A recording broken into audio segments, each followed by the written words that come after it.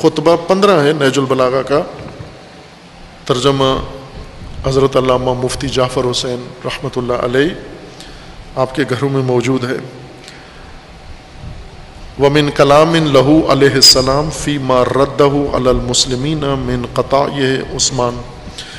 यानी वो अमवाल जो खलीफा सेवम के ज़माने में बन बनु उमैया ने बांट लिए थे, बैतुलमाल सारा दुवल बना लिया था, जागीर बना लिया था, आपस में तकसीम कर लिया था।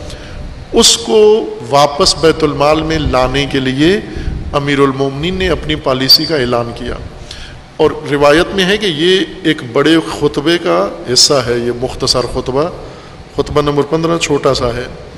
ये बड़े खुतबे का हिस्सा है जो अमीरमिन ने अपनी हुकूमत के दूसरे दिन बयान फरमाया, मदीना के अंदर सदारती खुतबा या पहला खिताब कौम को, आवाम को ये फरमाया, वल्लाह लो वजद तहू कद तजुवजा बेहन निसा.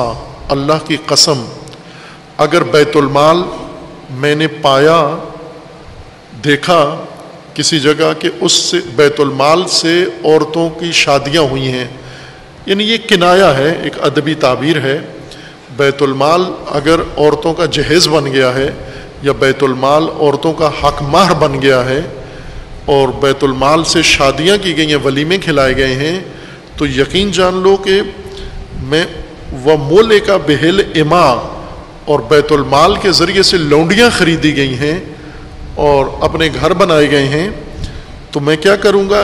लो वजह तो हूँ लरदद तो हूँ मैं उसे पाई पाई वापस करूँगा, जहाँ भी है।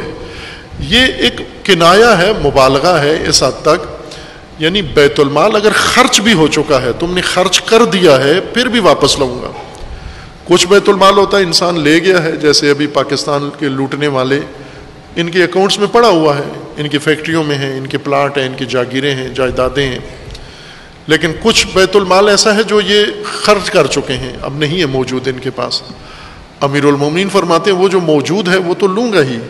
जो मौजूद नहीं है, खर्च हो चुका है, और वो खर्च भी औरतों के ऊपर हो चुका है तो मैं वहाँ से भी वापस पलटाऊँगा लरदत तो हूँ फ़िन फिल अदले सतन वसत, ज़िंदगी की वसत, अदल के अंदर है। अदालत में वसत है।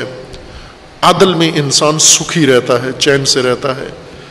व का अलहिल अदल, फल जोरो अलह अजयक।